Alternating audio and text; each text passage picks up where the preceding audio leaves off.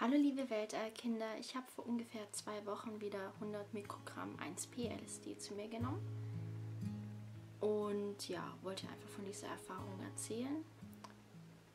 Ähm, während diesem Trip habe ich tatsächlich nicht gefilmt, weil die Erfahrung ja ziemlich intensiv war, würde ich mal sagen.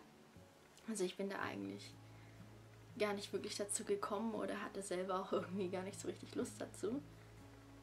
Und ähm, ich habe jetzt aber ein paar Tage danach ähm, auch noch so ein bisschen draußen gefilmt, wo ich während dem Trip entlang gegangen bin. Das werde ich dann hier in das Video noch reinschneiden, weil ich bin während dem Trip auch ein bisschen nach draußen gegangen.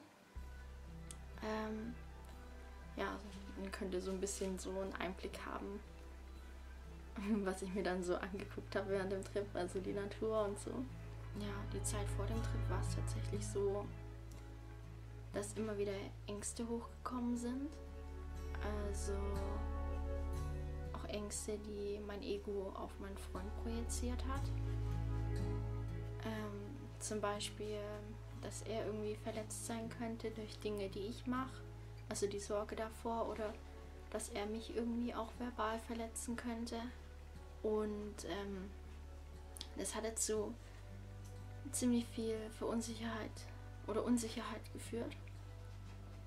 Und ähm, ja, ich hatte auch so das Gefühl, dass mein Ego eben ja, versucht, durch die Angst eben ähm, sich irgendwie festzukrallen und nicht loszulassen. Und ähm, ja, es war dann tatsächlich so, dass mir irgendwie so in den Kopf kam, so eine der Sachen, wovor ich am meisten irgendwie jetzt momentan Angst habe, ist, wenn ich jetzt ähm, wieder Psychedelika nehmen würde. Und das in Kombination mit meinem Freund. Weil ähm, da ja alles Mögliche hochkommen könnte. Und ähm, ja, ich hatte sozusagen Angst vor der Angst. Und ähm, ja, ich bin ja auch die Angst davor immer wieder auch so aus dem Weg gegangen, weil ja, bei der normalen Sozialphobie, da war es ja relativ einfach, irgendeine Angstkonfrontation zu machen, ähm, sodass die Angst keine Macht mehr hat, also einfach irgendwie unter Leute gehen auf verschiedenste Art und Weise. Aber wenn dann eben der Partner mit einbezogen ist bei so einer Angststörung, dann ist das Ganze natürlich komplizierter, weil ähm, ja, man will natürlich auch Rücksicht aufeinander nehmen. Und äh, ja, das Ganze ist auf jeden Fall nicht so einfach. Ja, und das hat eben dazu geführt, dass ich die Tage vor dem Trip immer wieder vor der Angst quasi eingeknickt bin und ähm, ja, dem Ego quasi nachgegeben habe. Und ähm, dann war es an diesem Tag irgendwie so, ich saß ähm, am Computer und mir kam die Idee, dass ich ähm, mir ein paar von Eckhart Tolles Videos anschauen kann, weil der hat ja nicht nur seine Bücher geschrieben, sondern findet man ja auch auf YouTube. Und ähm, ich habe mir da ja so Videos angeschaut, eben übers Gefangensein von den eigenen Gedanken und ähm, ja, ich werde die Videos wahrscheinlich auch noch hier in die Infobox tun, falls ihr angucken wollt, was ich mir da angeschaut habe. Und ja, also irgendwie hat es bei mir dann voll viel ausgelöst. Und in einer Videos hatte er dann auch gesagt, dass man eben so selber entscheiden kann, worauf man den Fokus legt. Und ja, dann kam in mir der Gedanke hoch. Es war eigentlich alles relativ spontan. Also ich hatte am Tag davor schon mal daran gedacht, ähm, das zu machen. Äh, war mir dann aber wieder relativ unsicher. Also ja, mein Ego hatte dann immer wieder tatsächlich Angst davor. Und ja, dann habe ich äh, 100 Mikrogramm 1-P-LSD zu mir genommen.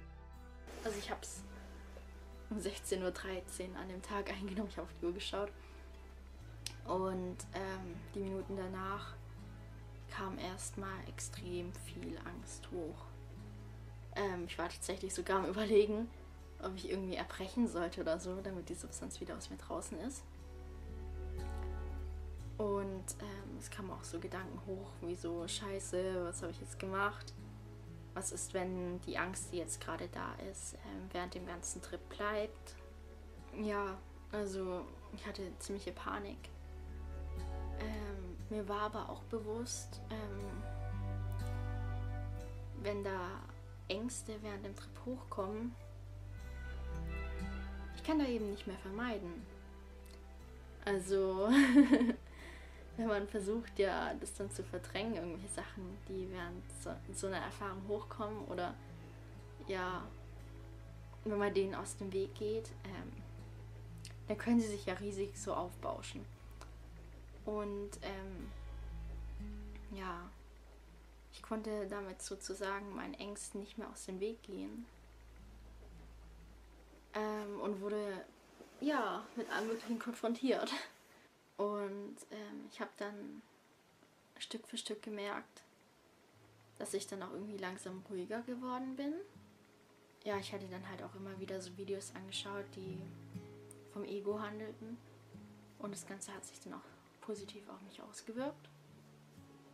Also, ja, ich wurde allgemein ein bisschen ruhiger. Ähm, und ich habe dann auch langsam so die ersten Effekte gespürt. Also, ja, ich merke allgemein bei 1P-LSD äh, ziemlich schnell was, also öfters schon nach einer halben Stunde. Und äh, an dem Tag würde ich sogar sagen, dass ich sogar einen Tick früher als äh, eine halbe Stunde schon was gemerkt habe. Und ja, an dem Tag war es so, dass mein Freund eben unterwegs war und er kam dann eben wieder nach Hause. Im ersten Moment hatte ich dann auch äh, wieder so ein bisschen Angst, ähm, wegen der Substanz. Und äh, habe dann tatsächlich erstmal beschlossen, es ihm nicht zu sagen, äh, dass ich ja gut unterwegs bin. Ja, war eben die letzte Erfahrung, die ich auf 1 PLSD hatte, ähm, wo er auch mit dabei war, zeitweise eben ziemlich schwierig war. Ich habe mich dann auch immer wieder nicht so gut gefühlt, deswegen, dass ich es ihm nicht gesagt habe. Aber ähm, ich hatte halt auch die Sorge, dass er sich Sorgen macht, wenn er weiß, dass ich eben auf der Substanz bin. Also ich hatte irgendwie auch Angst, dass er Angst hat. Und es war dann halt irgendwie so, dass ich dann aber erstmal wieder ruhiger wurde. Und die Wirkung hat halt langsam so angeflutet. Und ja, das Schöne war halt auch, ähm, dass mein Freund mir sogar einen Blumenstrauß mitgebracht hatte. Ähm, ich glaube, es waren weiße Margariten. Aber es kann auch sein, dass es keine Margariten sind, aber auf jeden Fall weiße Blumen. Ja, und ähm, dann kam in mir der Impuls hoch, äh, mit meinem Freund irgendwie rumzublödeln. Und also ich musste tatsächlich äh, so arg lachen wie ja seit ein paar Wochen nicht mehr. Also ich hatte wirklich schon Schmerzen im Bauch dann vor Lachen und ähm, habe mich quasi übers Bett gekugelt. Und ja, habe halt eben mit meinem Freund irgendwie rumgeblödelt. Und ähm, abends ist es oft so, dass er dann in TS geht mit einem Kumpel. Und er hat mich dann gefragt, ob das okay ist. Und ich habe ja gesagt. Es war eigentlich so, dass ich schon gerne noch weiter mit ihm irgendwie ja, Quatsch gemacht hätte, weil ich es einfach auch schön fand, auf der Substanz wieder eine positive Erfahrung mit ihm zu machen. Aber ja, ich wollte ihm halt auch nicht äh, sagen, nee, du kannst jetzt nicht zocken. Also ja, kann er ja selber entscheiden. Ähm, ich habe ihm aber noch gesagt, dass ich irgendwie später gern mit ihm spazieren gehen würde. Ja, und ob wir das eventuell noch machen können. Und ja, dann saß ich erstmal auf dem Bett und die Angst kam wieder hoch. Also es war dann wirklich, ja, ziemlich intensiv, was ich da gefühlt habe. Also äh, ja, es hat sich wirklich ziemlich beängstigend angefühlt. Mir kam dann aber wieder in den Kopf, ähm, dass eben mir den Fokus von Eckhart Tolle und dass ich eben ja nicht eben mich die ganze Zeit jetzt mit diesen Angstgedanken beschäftigen muss, sondern dass ich eigentlich ja tun und machen kann, was ich will. Und ich kam dann auf die Idee, wieder zu malen, weil ich das ja auch schon während einer meiner Erfahrungen gemacht habe. Und ja, das ziemlich lustig war. Und ich habe dann angefangen mit meiner Acrylfarbe die Blumen anzumalen, die mir mein Freund mitgebracht hatte. Es war dann aber so, dass ich ziemlich verschallert war. Also es mir tatsächlich immer wieder ziemlich schwer, einen Strich zu machen. Also ja, wenn man auf Psychedelika malt, ist es auf jeden Fall mit einer niedrigeren Dosis einfacher als mit einer höheren. Weil ähm, je höher die Dosis, äh, umso anstrengender wird es, einen Pinsel zu führen. Und ja, 100 Mikrogramm reichen da auf jeden Fall aus, dass es schon langsam anstrengend wird. Ja, und mir kam dann auch in den Kopf, dass im Prinzip alles, was ich so bisher erlebt habe, also alle Erfahrungen, die mein Ego gespeichert hat, dass ich eigentlich beliebig auf die zugreifen kann. Und ähm, ja, also auch auf positive Momente zugreifen kann und mir die wieder ja, hochholen kann, wenn gerade irgendwas Schwieriges hochkommt ich brauche diesen Ego-Gedanken jetzt nicht irgendwie irgendeine Macht verleihen und mich darin total drin verlieren, sondern ich kann meinen Fokus eben auch auf ähm, positive Dinge lenken. Ja, mir eigentlich alles, was ich will, ins Bewusstsein äh, hochrufen und mein Bewusstsein eben beliebig lenken. Also den Verstand quasi als Werkzeug benutzen. Dann war es tatsächlich so, dass ich wieder dieses Gefühl hatte, dass ich irgendwie loslasse ähm, innerlich. Mein Ego hat sich dann aber wieder eingeschoben mit Angstgedanken. Es hat eben versucht, sich selber wichtig zu machen, sodass ich eben nicht vom Ego loslasse. Und ich habe dann aber auch ähm,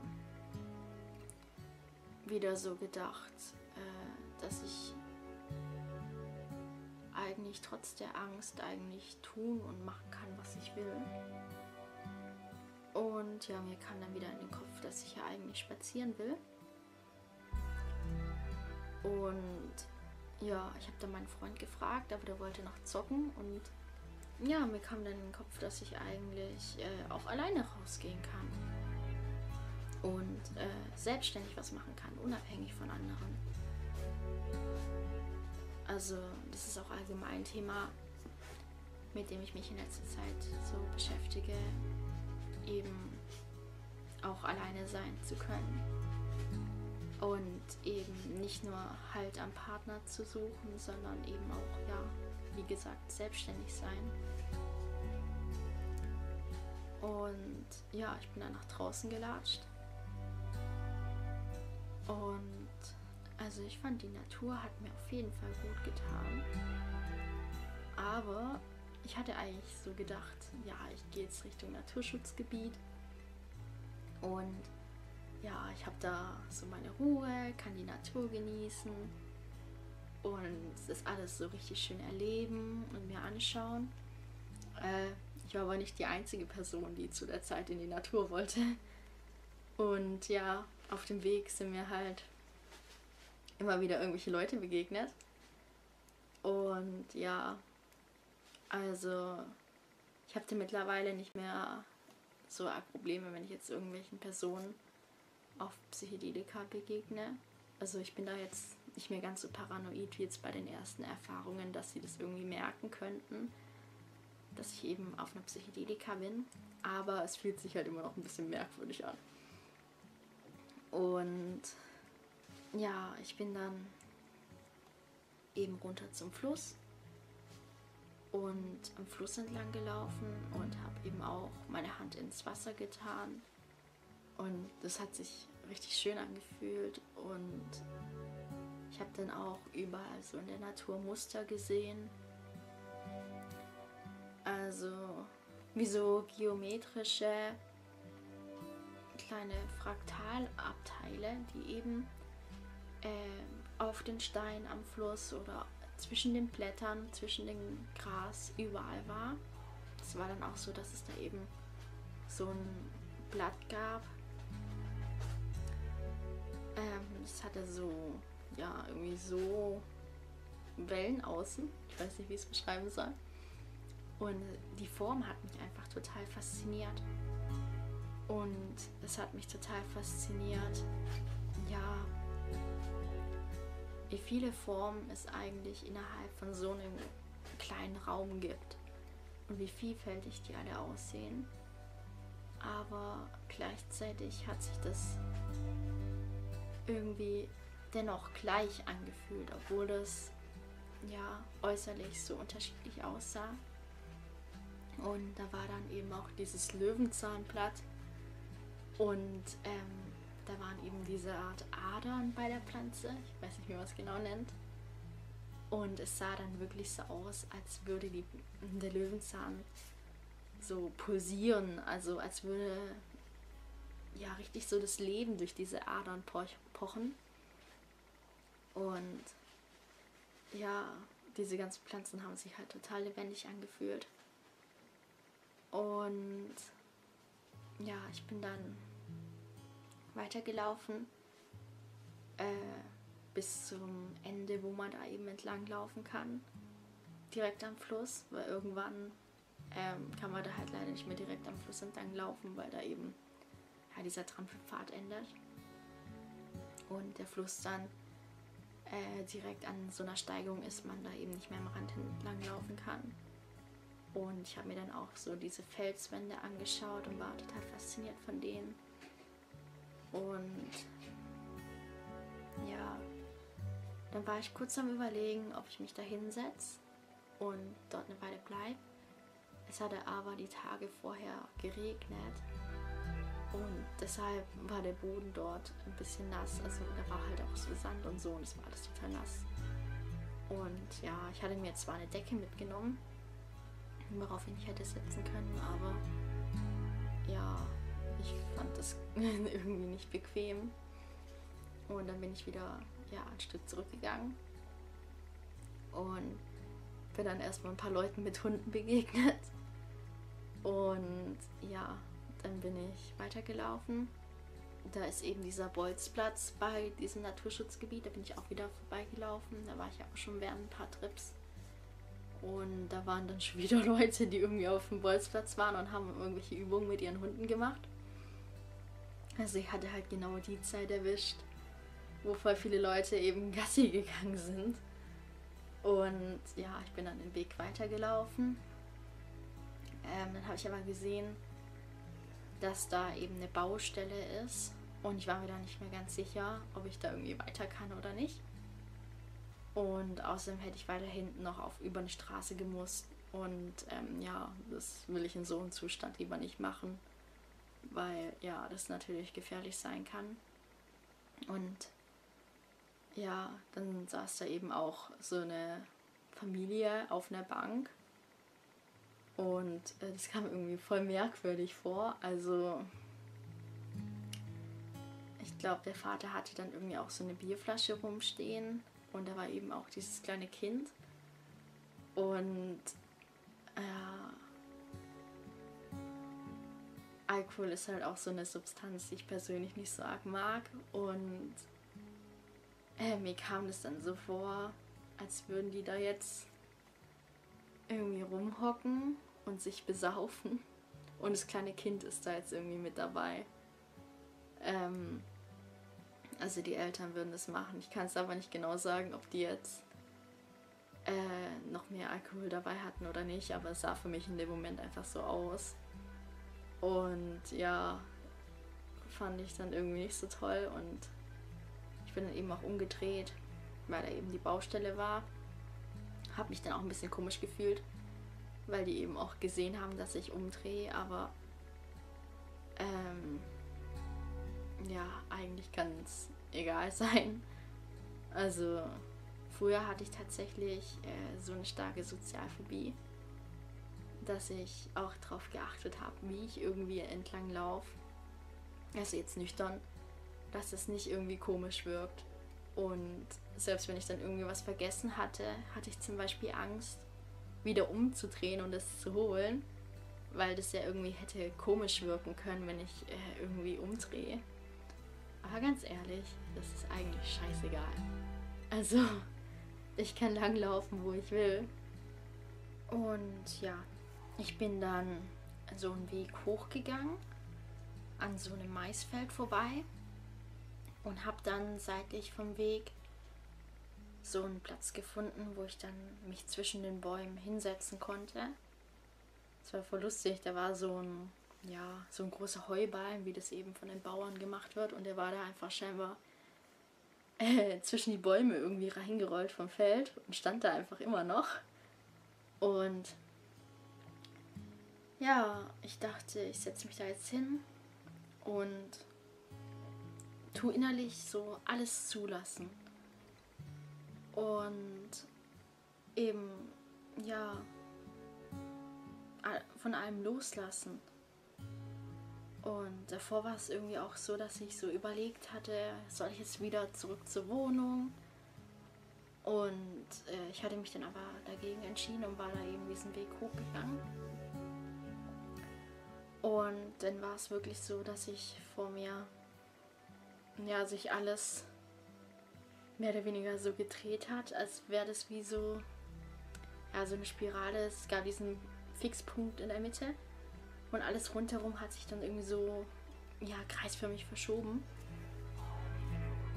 Und es war dann aber wieder so, dass dann auch wieder Ängste hochkamen. Und ich war innerlich sehr unruhig und ähm, ja, ich bin dann eben wieder aufgestanden und habe meine Decke genommen und bin dann wieder Richtung Wohnung gelaufen aber ähm, habe dann während dem Weg beschlossen, dass ich ähm, noch zu einem anderen Ort gehe, wo ich auch immer wieder gerne bin. Äh, das ist so, ja, so eine kleine Hütte, wo auch so ein Grillplatz ist und ja, eben so eine Holzbank und so ein Holztisch. Und ja, da saß ich auch schon zum Beispiel, äh, während ich welche Videos aufgenommen habe. Und ja, ich dachte, ich gehe da hin. Ich habe mich dann auch so mit dem Kopf irgendwie mehr oder weniger auf den Tisch irgendwie so ein bisschen hingelegt. Also so im Halbsitzen. Und ja, ich habe einfach gemerkt, ich kann zwar mittlerweile immer wieder auch Sachen alleine machen, und habe eben auch gelernt, dass ich nicht mehr aus Angst immer irgendeine Person vor mir brauche, die quasi auf mich aufpasst. Aber zu zweit ist es halt einfach viel schöner. Und ja, zu zweit kann man so viele tolle Sachen miteinander machen. Und ja, man hat einen Gesprächspartner und man kann ja, irgendwelche lustigen Sachen erleben. Und ich finde, ja, wenn man zu zweit irgendwie lacht, dann ist es viel schöner, als wenn man jetzt irgendwie alleine irgendwas Lustiges sieht und dann lacht. Weil davor war es so, dass ich mir einfach Gedanken auch gemacht habe, ob das überhaupt möglich ist, in einer Beziehung keinen Halt zu suchen. Also so bevor die Identifikation mit dem Ego endet, können ja auch irgendwelche Ängste in Bezug auf eine Beziehung hochkommen. Aber deswegen sollte man nicht, meiner Meinung nach, die ganze Zeit irgendwie alleine verbringen. Also irgendwie alles total einsam verbringen. Also klar, man sollte meiner Meinung nach irgendwie alleine auch zurechtkommen. Aber mm, man sollte sich eben nicht total abkapseln, nur weil man eben ja, durch andere getriggert werden könnte oder ja, das eigene Ego an den haften könnte. Ich habe das einfach so richtig gefühlt, dass ich ja mit meinem Freund einfach so viele gemeinsame Dinge eben erleben will und ich hoffe einfach auch, dass sich ähm, seine Symptome verbessern, sodass es ihm eben auch besser geht. Er hat zum Beispiel vor, nächsten Monat seine erste Ayahuasca-Erfahrung im Rahmen von einer schamanischen Zeremonie zu haben. Und ja, er erhofft sich halt auch ziemlich viel davon. Und ja, ich hoffe auch, dass es ihm hilft, weil er eben auch selber äh, immer wieder stark leidet. Ich hoffe halt eben auch, dass es ihm dann besser geht und wir quasi ja, gemeinsam durch die Weltgeschichte stolpern können. Weil momentan hat er eben, wenn es irgendwie darum geht, irgendwo hinzugehen, oft halt sehr viel Angst. Ich wünsche mir halt einfach ziemlich sehr, dass, dass sich das bei ihm bessert. Ähm, weil meine Gedanken sind da auch sehr oft deswegen bei ihm. Aber ja, ich kann halt, ich habe festgestellt, ich kann ihn halt eben nicht irgendwie gesund machen. Ich kann ihnen am ehesten eben helfen, wenn ich mir selber helfe. Ich habe dann eben beschlossen, wieder zur Wohnung zurückzugehen. Und ja, mein Freund hat dann so gefragt, ob er kochen soll. Und ja, ich habe halt so gemerkt, so, ja, das könnte ich eigentlich die meisten Sachen überhaupt nicht runterkriegen. Und ähm, er wollte eigentlich veganen Döner für uns an dem Tag machen. Aber ja, ich weiß halt aus Erfahrung, dass ähm, auf so einer Substanz eigentlich am besten solche Sachen wie Obst runtergehen. Und ja, sowas wie Döner ist natürlich eher schwierig, weil sich dann so die Konsistenz irgendwie auch total merkwürdig anfühlt und alles. Und ja, ich habe ihm dann halt eben gesagt, ähm, ja, dass ich gerade eben auf 1P LSD bin. Und ähm, seine erste Reaktion war, ob ich ihm eben nicht mehr vertraue. Also es hat ihn tatsächlich auch ein bisschen verletzt. Und ähm, davor hatte ich dann auch ein bisschen Angst gehabt, dass er mir das übel nimmt. Ähm, ich habe ihm dann aber gesagt, äh, wenn ich ihm nicht vertrauen würde, dann würde ich das ihm eben jetzt nicht sagen. Und ja, ich hatte eben auch so gemerkt, dass ich tatsächlich auch irgendwie eben Angst davor hatte, dass er das eben weiß, dass ich auf einer Psychedelika sein könnte, was eben irgendwie dazu führen könnte, dass ja, er zum Beispiel Angst um mich hat. Also hatte ich innerlich einfach irgendwie beschlossen, ich scheiße jetzt auf die Angst und ähm, gebe ihr dadurch keine Macht mehr. Es war dann im ersten Moment so, dass mein Ego das, was ich innerlich gefühlt habe, nach außen projiziert hat und ich dann meinen Freund so überhaupt nicht mehr einschätzen konnte und ich dann dachte, dass der auch jetzt irgendwie völlig in Panik sein könnte. und irgendwie voll die Ängste hat.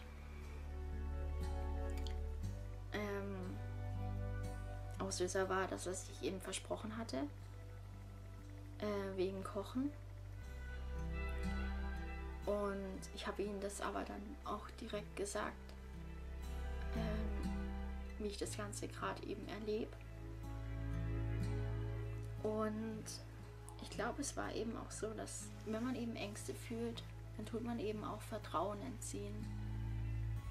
Und ich habe da dann einfach ja, drauf geschissen und ihn umarmt. Also, ja, scheißegal, was der Kopf sagt. Das hat tatsächlich total geholfen. Also, und ich habe dann halt auch eben gemerkt, je mehr ich mir selber vertraue, umso mehr vertraue ich eben auch meiner Umgebung und eben auch meinen Freund. Je mehr ich mich selber lieb und je weniger innerlich unsicher ich selber bin, umso mehr kann ich eben auch meinen Freund lieben. Und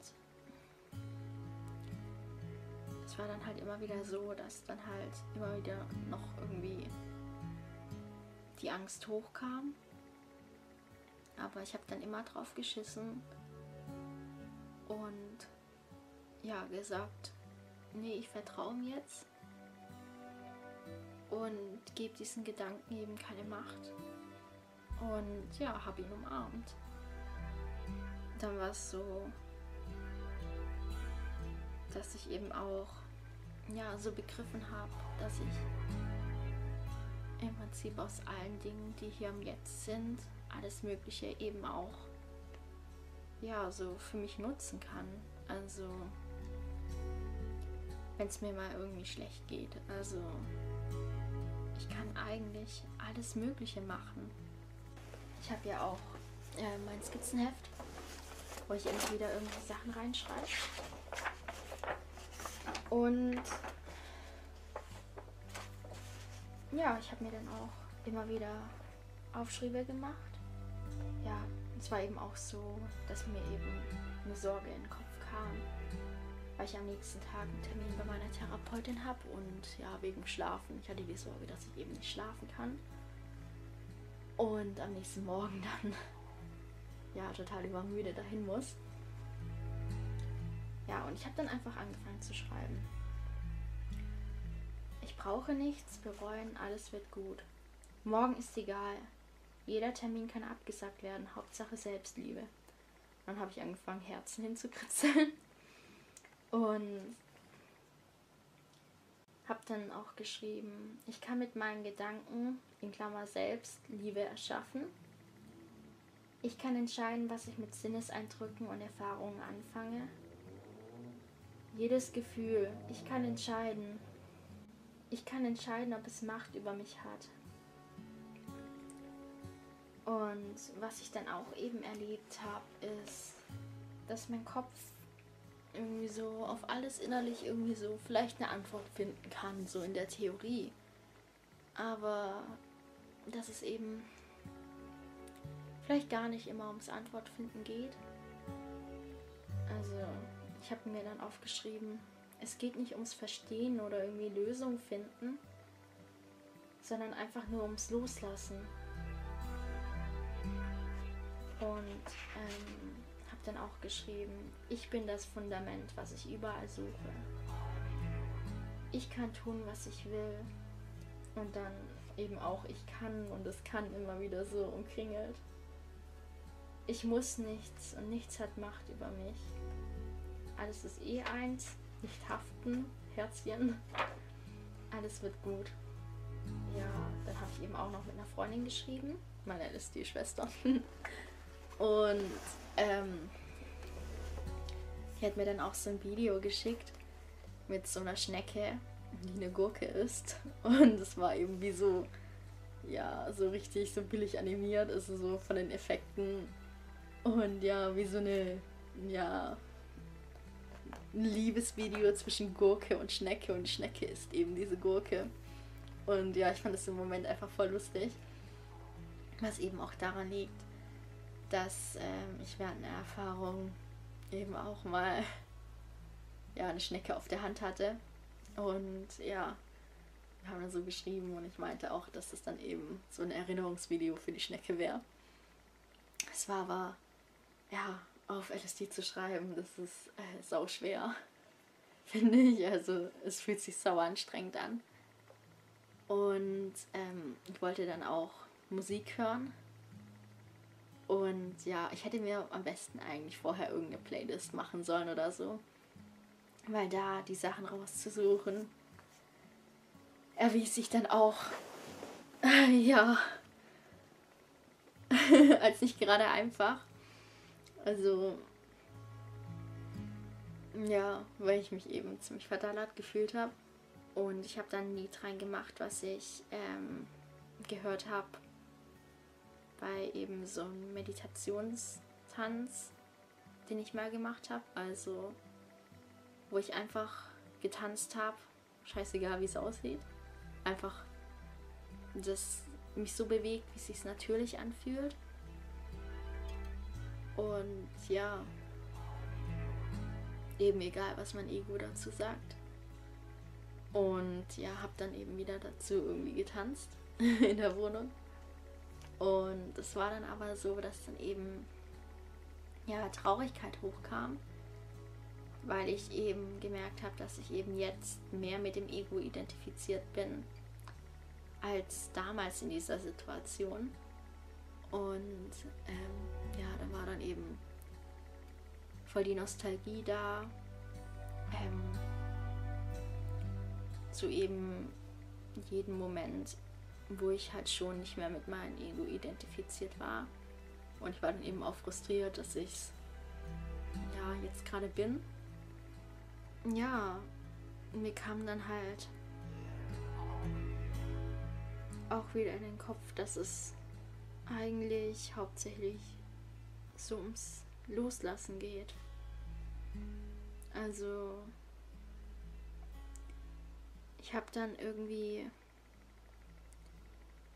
wieder gemerkt, dass es irgendwie wieder dieses Loslassen hochkommt und eben auch wieder so eine Art von Kontrollverlust.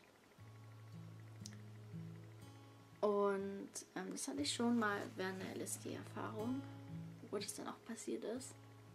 Aber ich glaube auch schon nüchtern. Ähm, und zwar, dass, ich so, dass es sich so angefühlt hat, als würde mein Körper sich von selber bewegen. Heißt, ich habe eben die Kontrolle von den Körperteilen abgegeben. Und ja, einfach mal machen lassen. Also einfach geschehen lassen. Und das hielt dann aber leider nur äh, für ein paar Sekunden an, weil eben dann mein Verstand wieder versucht hat zu begreifen, was man eben nicht begreifen kann, sondern was man eben nur fühlen kann. Und ähm, ja, ich konnte eben dann eben nicht vom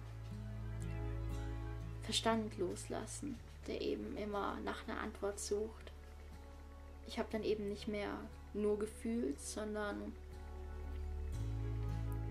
ja, gedacht.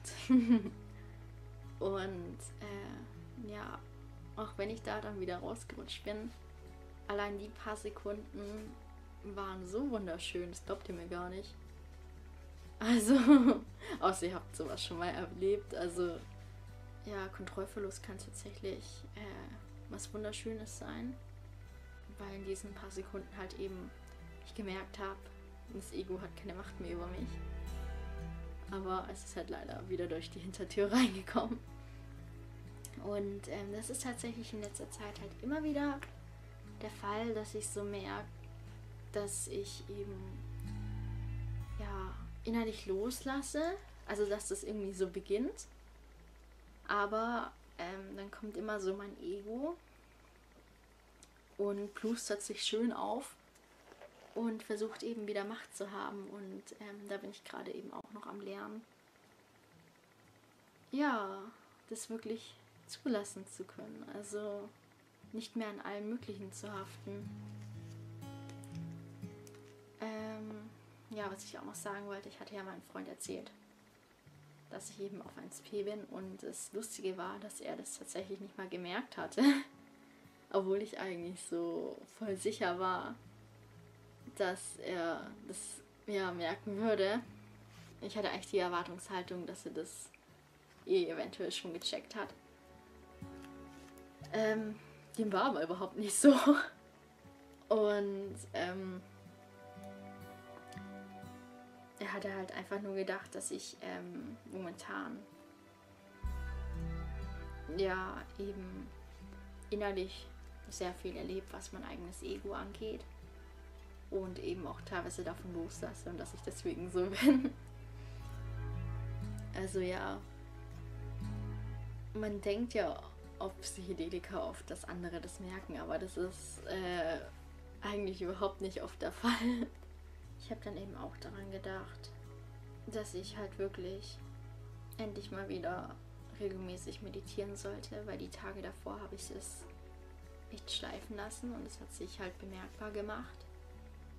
Also, dass ich eben diese Erlebnisse, die ich auf Psychedelika habe, halt wirklich auch in den Alltag integrieren sollte mehr. Ähm, was ich auch schon teilweise gemacht habe, aber dann gab es halt eben wieder Phasen, wo ich es habe schleifen lassen und ähm,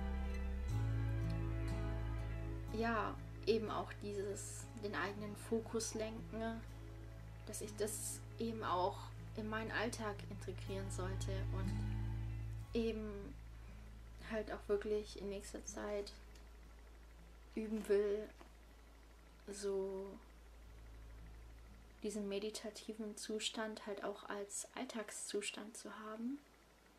Ja, mir kam dann auch in den Kopf, vielleicht ist es eben dieses Ego als Werkzeug nutzen, wenn man halt wirklich seinen Verstand nur noch so gebraucht, wie man eben mag und der Verstand einen eben nicht mehr selber kontrolliert und man eben auch seinen Fokus beliebig lenken kann und ja das Ego eben nur noch für so Sachen nutzt wie keine Ahnung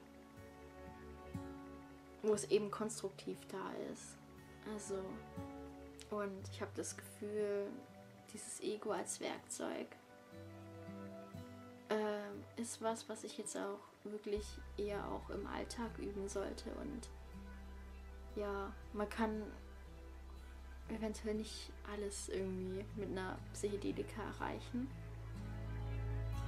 Also es ist auf jeden Fall ein Hilfsmittel. Aber ja, man muss diese Erfahrung eben auch integrieren und ja, eben im Alltag die Dinge anwenden, um halt ähm,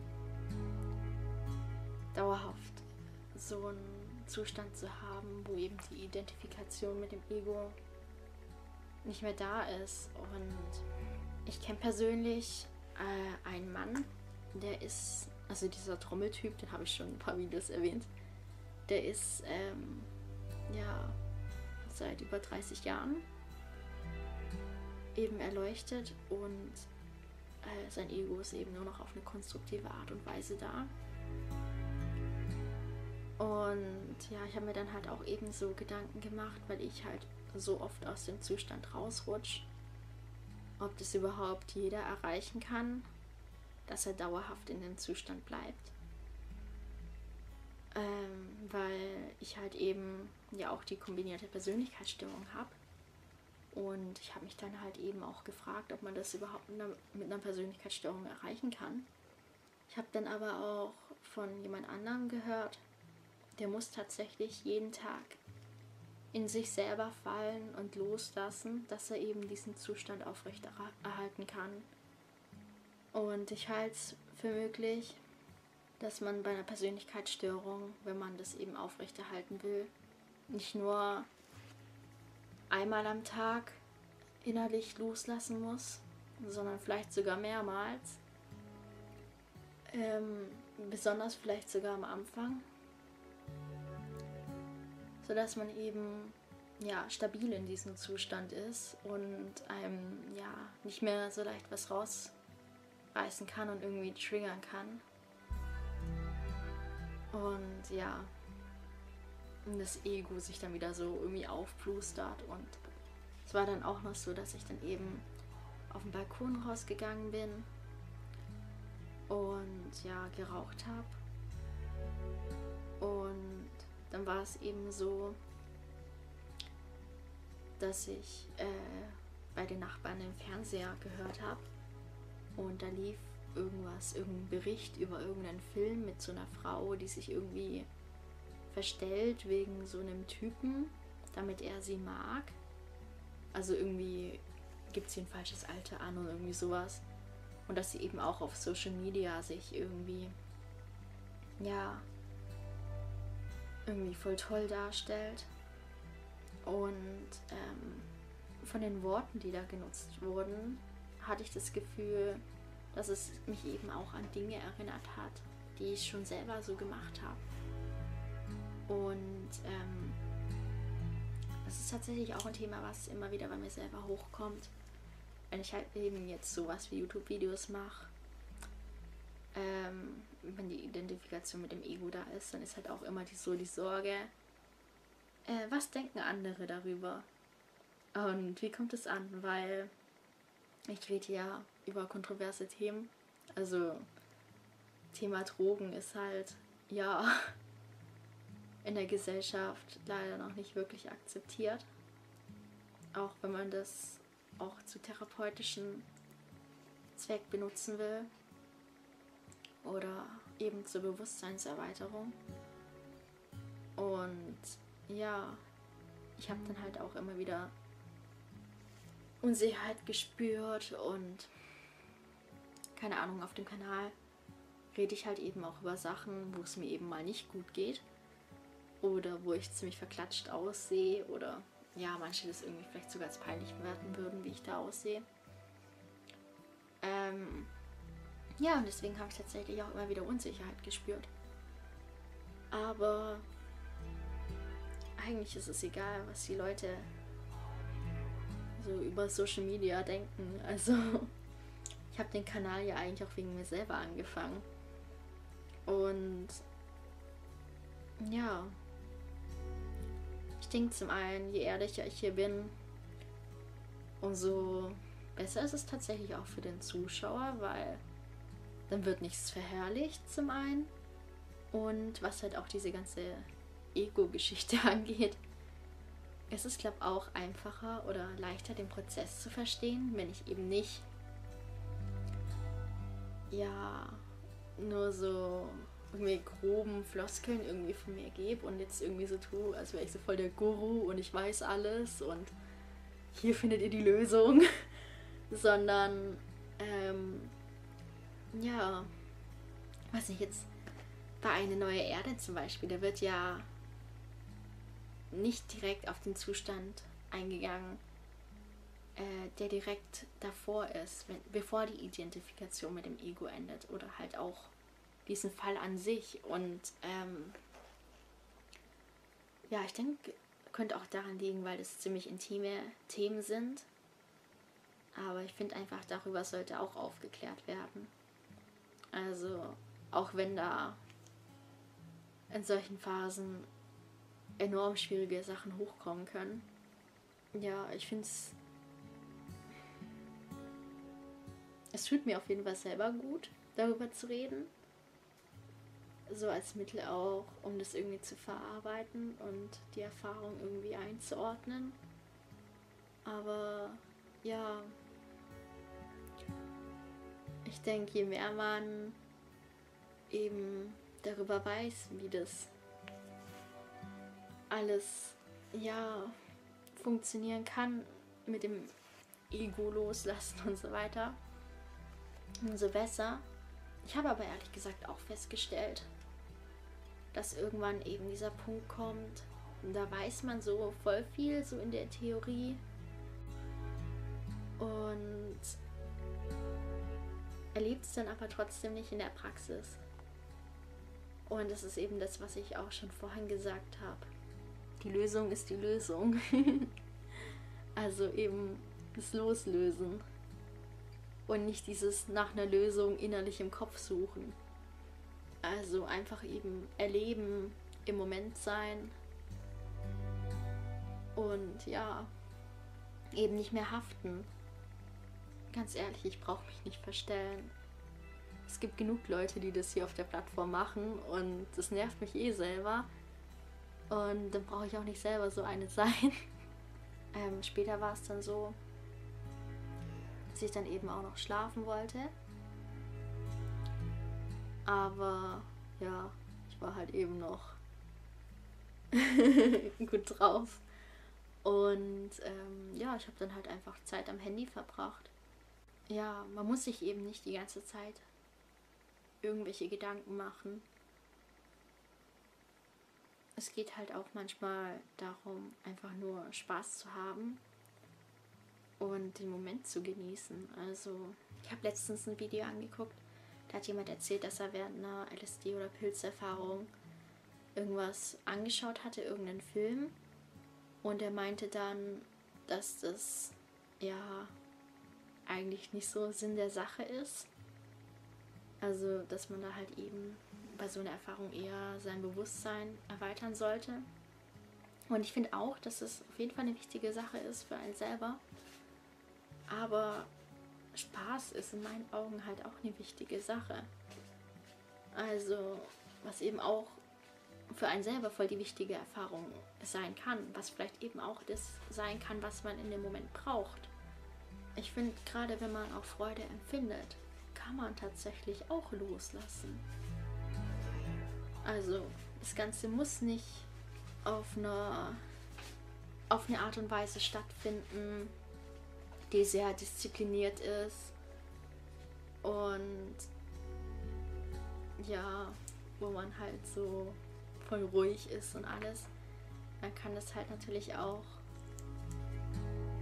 tatsächlich ja, auf eine lustige Art und Weise erleben, auch wenn das natürlich jetzt voll das wichtige Thema ist. Aber ja, das, die Erfahrung habe ich einfach gemacht. Und ja, ich habe dann noch eben so was angeschaut, also so ein Livestream auf Twitch von jemandem, der heißt äh, Tomato. Mein Freund hat den abonniert und ich habe da halt so reingeschaut und da ging es irgendwie um so ein Spiel. Das heißt Kindergarten. Und ja, das ist voll der böse Humor. Und am Anfang hatte ich dann halt so voll die Probleme, ähm, das zu lesen, was da stand, weil meine Konzentration halt mh, mm, sehr wechselhaft war. Und ich die Wörter auch gar nicht richtig verarbeiten konnte. Also es waren einfach nur immer wieder Buchstaben. Aber ja, mein Kopf hat die nicht zu Wörtern immer wieder zusammengesetzt. Und davor hatte ich auch auf YouTube mit meinem Freund ein bisschen was angeguckt ich habe da tatsächlich vor lange immer wieder gebraucht, bis die Worte irgendwie so bei mir angekommen sind. Und das ist ja auch so eine Sache mit der Sprache. Sprache kann halt auch immer eine Begrenzung vom eigenen Bewusstsein sein. Manche Dinge kann man gar nicht in Worte fassen, sondern eben nur selber erleben und fühlen. Man kann manche Dinge gar nicht wirklich beschreiben. Ich konnte dann tatsächlich auch einschlafen, obwohl ich immer wieder die Sorge hatte, dass ich es nicht kann. Ähm, ja, also ich habe dann einfach so die Wirkung eher so gemütlich ausklingen lassen. Äh, ja, am nächsten Tag habe ich dann auch noch die Erfahrung mit meiner Therapeutin besprochen.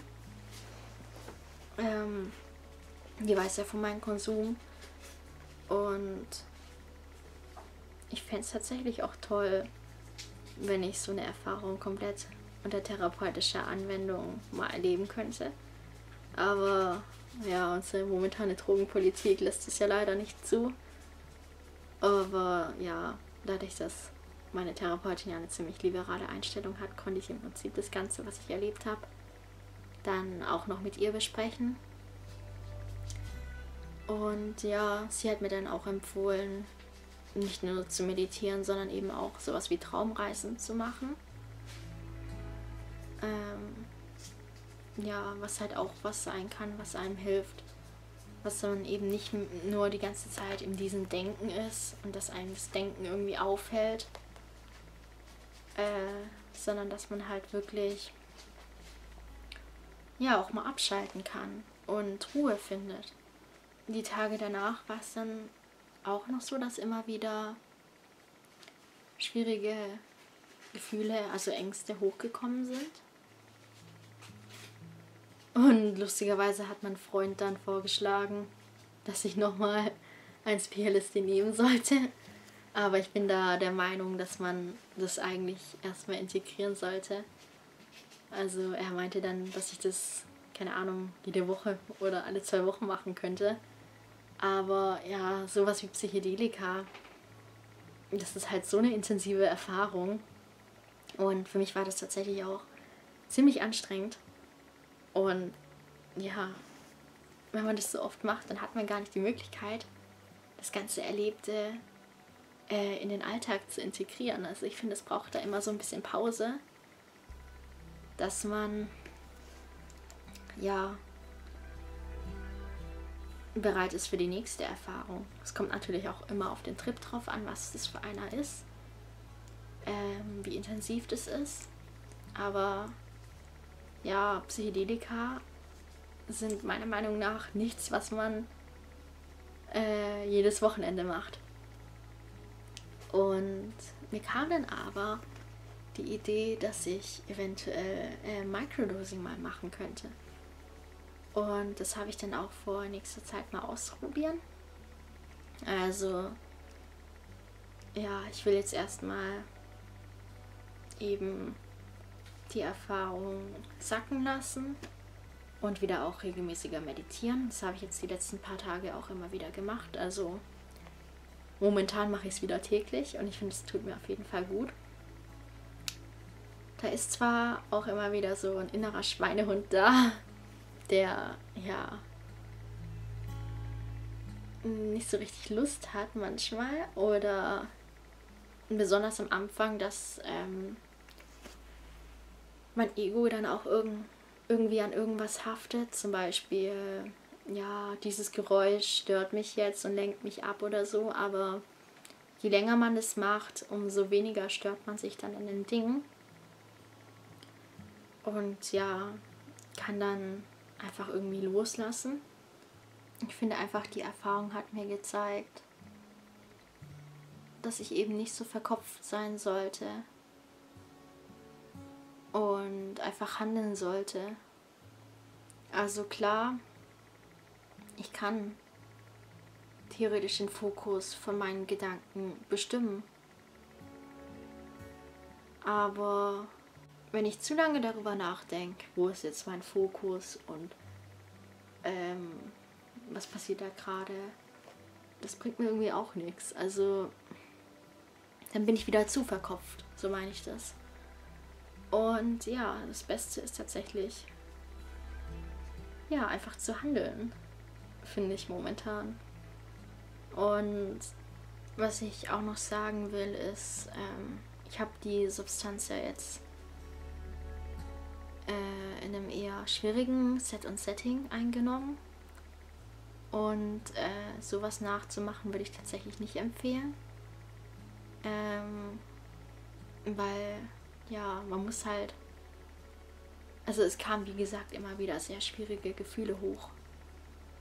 Und ja, es kann halt sein, dass es manche Leute gibt, die können damit nicht umgehen und dem sollte man sich auf jeden Fall bewusst sein. Ich habe das Gefühl, auch wenn da immer wieder schwierige Dinge hochkamen, hat mir das Ganze auf jeden Fall gut getan. Was ich eigentlich so in nächster Zeit vorhabe, ist halt wirklich ja, weniger denken. Einfach erleben und ja, einfach sein. Ähm, was ich noch ergänzen wollte zu dem Tripbericht, ähm, das habe ich völlig vergessen zu sagen. Und zwar, mir kam dann auch in den Kopf, dass eigentlich ich momentan mit jedem Zustand verbunden bin, bei dem ich jemals so in meinem Leben war oder sein werde. Und ähm, also dass alles jetzt ist und ähm, das bedeutet natürlich auch, dass ich ähm, momentan mit jedem Zustand verbunden bin, wo ich ähm, nicht mehr mit meinem Ego identifiziert war. Und ähm, oder ich gerade innerlich im Fall war oder so. Und ähm, ja, ich eigentlich, auch wenn ich es manchmal nicht fühle, ja, also immer noch damit connected bin und ähm, das dadurch irgendwie auch ja wieder hochrufen kann. Also dieser Zustand ist eigentlich nie weg, der schlummert in einem die ganze Zeit. Was ich dann auch noch gemacht habe, ist, dass ich eben hier die angemalten ja, Blumenblüten äh, hingeklebt habe und eben hier ja mit Edding das so gemacht habe. Und hier auch eben ja das aus einer Zeitung ausgeschnitten habe. Also was mir eben auch in den Kopf kam. Ja, die Lösung ist die Lösung, was ich ja vorhin schon mal gesagt habe. Und ja, dann habe ich hier auch noch ein paar von den restlichen Blütenblättern hinge hingeklebt.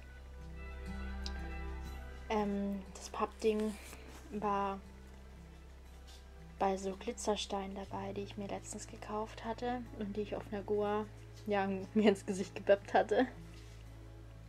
Und ja, habe dann einfach, diese Linien waren schon da und ich habe dann einfach diesen Frauenkörper mit den bunten Blumen gefüllt.